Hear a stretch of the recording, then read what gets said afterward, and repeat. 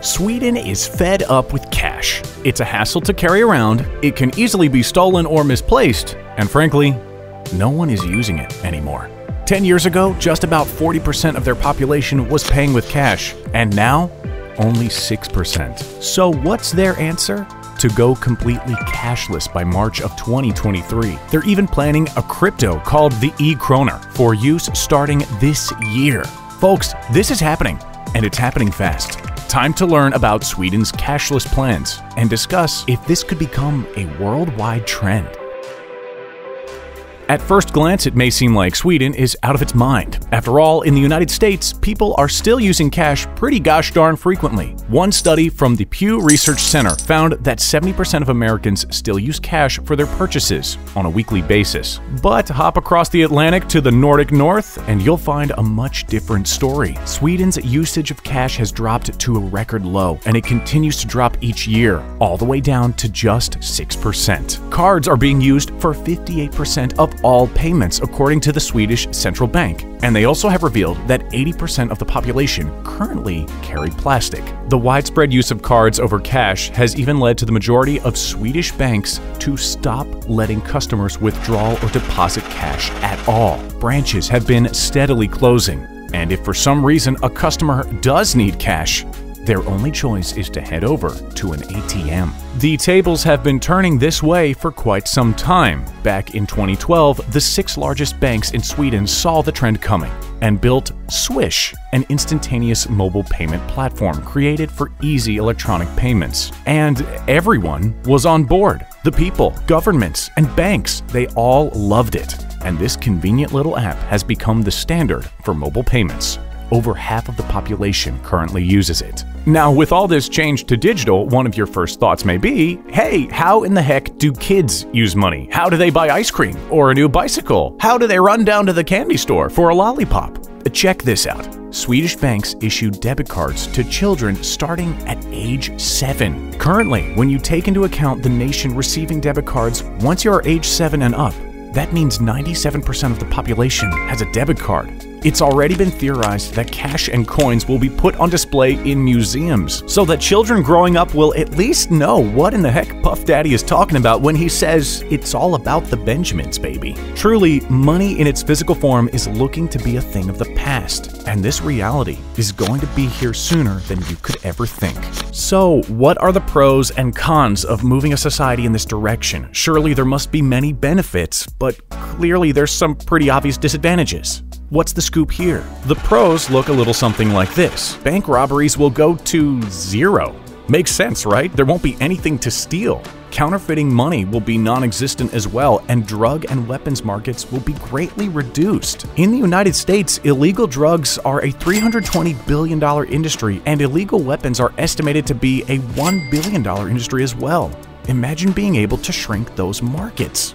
Honestly, Maybe the US should take some notes from Sweden. There will also be way less tax avoidance in a society with an entirely digital currency. And get this, there will be way less petty crime too. No more pickpockets, because there's no money in people's pockets. And certainly, small business owners will feel more safe as well, as there won't be any cash in their cash registers. In fact, don't take our word for it. Here's a quote from Christopher Lube, a general manager of a restaurant and ecological food company in Stockholm that just so happened to stop accepting cash a year ago. He said, It's good for both the guests and for us. It saved us a lot of time in that we don't have to count cash anymore. There's hardly been any reaction.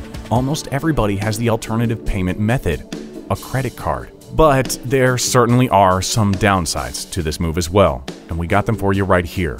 Cons to a cashless society include the struggle that many retirees, people with disabilities, and newly arrived refugees will face. These demographics aren't always as familiar with new technology, and imagine being new to the country and not being able to access a digital wallet. You'd be out of luck with even the most mundane purchases which includes using the toilet. Oh yes, this is a real thing. Using a public toilet in Sweden can cost as much as 10 kroner. That's about 1 US dollar. And if you can't pay for it, you ain't using it. There are also concerns of the lack of freedom of choice with this move to digital currencies. Some citizens simply depend on cash, and if it's gone, well, it seems like they'll just be out of luck. The speed at which this change is happening might simply be too much for some folks. After all, March of 2023, the reported date for when Sweden will do away with their dollars, is just under two years away at the time of writing this. Yikes. But we don't mean to be all doom and gloom. In fact, the advantages of a society with a totally digital currency are rather attractive. And if you need any proof that things are kind of moving this way, whether you want them to or not, just take a look at the cryptocurrency market. Oh, that's right, we're talking about crypto now. And how could we not? Briefly, in May of 2021, the market cap for Bitcoin touched $1 trillion. In April, the entire market cap for the space was at $2 trillion. Yes, it's dropped a bit since then, but hey, Crypto is volatile, though experts say that as adoption continues to occur over the years, the volatility will slowly fade and these coins will be stable. Sweden has definitely taken note of the crypto space. They have announced they will be releasing their own cryptocurrency, the e-kroner, this year.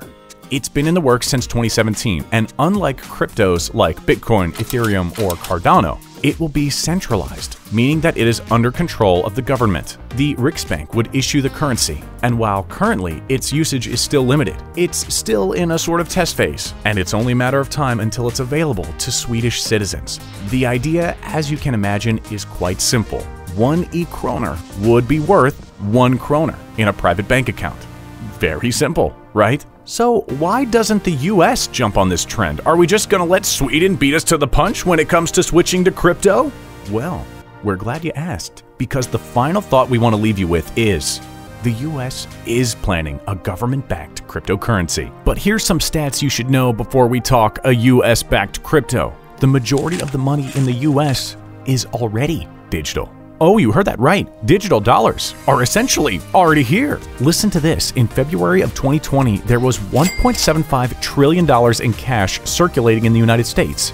But there was 15.434 trillion dollars in savings and checking accounts in December of 2019. That means digital is here. 90% of all US dollars have no physical existence. Heck, we'll take it one step further. Worldwide, only 8% of money is physical. So, what is the US doing to take advantage of this clear trend? Just last month, the Federal Reserve stated that they will be developing its own crypto and that research will start this summer. Chairman Jerome Powell stated, The effective functioning of our economy requires that people have faith and confidence in not only the dollar, but also in the payment networks, banks, and other payment service providers that allow money to flow on a daily basis. Our focus is on ensuring a safe and efficient payment system that provides broad benefits to American households and businesses, while also embracing innovation. So, when will we see the Lincoln coin, or whatever it will be called? You're gonna have to wait a bit. Experts say it's gonna be another four or five years until it's here, but it is coming. We'll see you next time, right here on The Richest.